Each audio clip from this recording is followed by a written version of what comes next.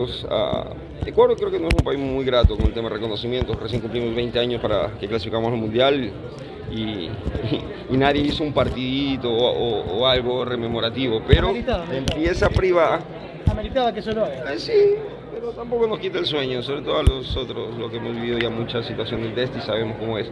Pero sí, felicitar a la empresa privada, especialmente a Pilsener, por, por rememorar en este año, que es un año político, y como lo ha catalogado acá, el gol de oro, y yo lo llamo el gol de todos. O sea, eh, es importante que quede plasmado para para que las generaciones pregunten, los niños pregunten qué pasó ese día. Entonces, conociendo un poco el pasado podemos eh, avanzar, sobre todo en la vida y, y en el tema futbolístico lo que se viene, como les digo, es año de mundial, así que creo que por eso casi siempre los 7 de noviembre se acuerdan de mí, o los 6, el- para el 7. Y ahí, a- a- a- ahora por el mundial, pero, pero no, contento, contento por, por todo. Pero ¿Cuál es usted siempre mensaje? se acuerda de la selección. Usted nunca olvida la selección y siempre está pendiente.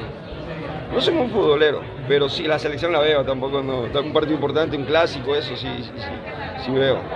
Um, Jaime, siempre la recuerdo y siempre la voy a recordar, porque me dio todo. Yo creo que más que un jugador que ha pasado por muchos equipos, muchas situaciones, muchas vivencias, eh, creo que no fui un jugador de equipo. Aunque soy emelexista, pasé muy poco tiempo, pero yo creo que soy un jugador de selección. Un buen punto. Me ¿cuál es tu mensaje para los jóvenes que hoy integran la selección ecuatoriana? Un mensaje. mm.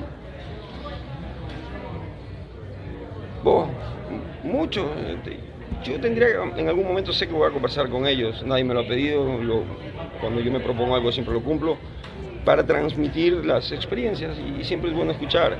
Eh, unión, unión, saber que no, no juegan por el apellido, sino juegan por el país.